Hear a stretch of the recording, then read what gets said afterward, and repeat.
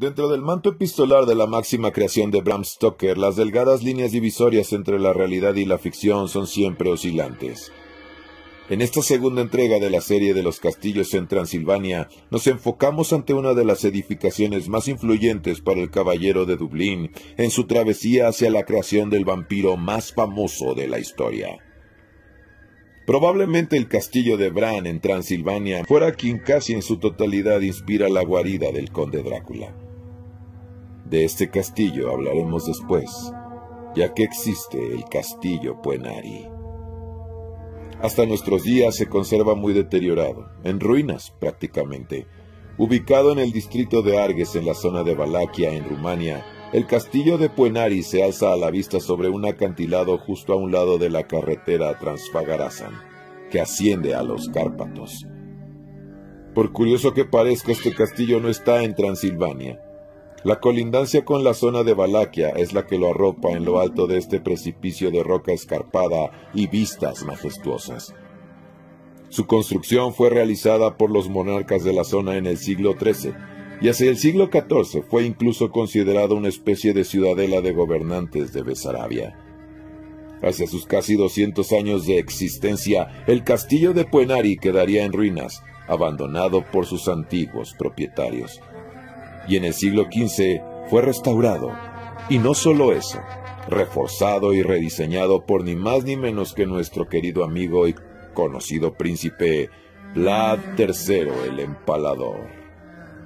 Él mismo ideó una estructura que reforzaría la edificación en ruinas y lo acondicionó de tal manera que fue una auténtica fortaleza, imponente en todo lo alto del valle y que si lo imaginamos en todo su esplendor, Bien podemos situarnos en ese castillo oscuro de paredes tan altas como las montañas, con torres enriquecidas de misterio, y que sin duda al contemplar todo el complejo, bien vendría a nuestra mente el momento en el que el conde recibe a Jonathan y lo invita a pasar dejando fuera un poco de la felicidad que trae consigo.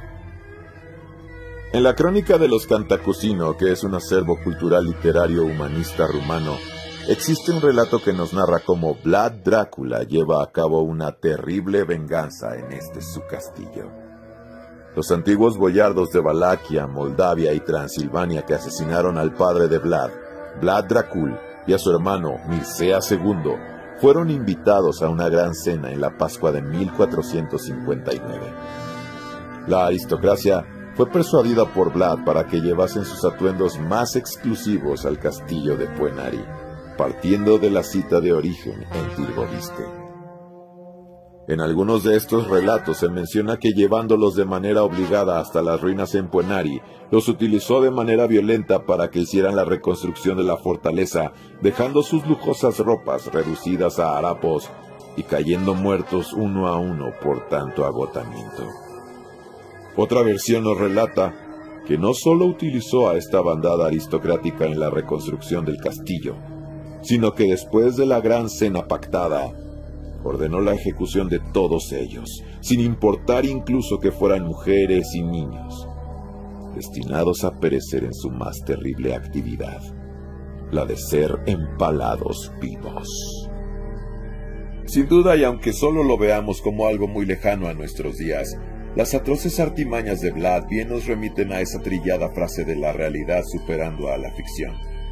Y aunque la ficción de Stoker es solo eso, un dejo de sensación real siempre nos recorre por la piel al leer y releer la novela, llevándonos incluso a imaginar el suceso como real, justo ahí, incrustado en algún momento de la historia, en esos mismos escenarios. El castillo de Puenari cumpliría así su actual destino, y tras la muerte de Vlad fue abandonado otra vez en 1476. Debido a su tamaño y la zona donde está ubicado, tomar su control fue difícil. En 1888, un deslizamiento de tierra derribó una de las partes laterales de la estructura, cayendo los pedazos de paredes, murallas y torres dentro del caudal que circunda el valle, el río Arges. Tras estos sucesos, la autoridad ha decidido darle conservación, restaurándolo de alguna de sus paredes y torres, que hasta el día de hoy son un apasionante atractivo turístico. Aunque eso implique que para llegar a sus cercanías tengamos que subir 1500 escalones.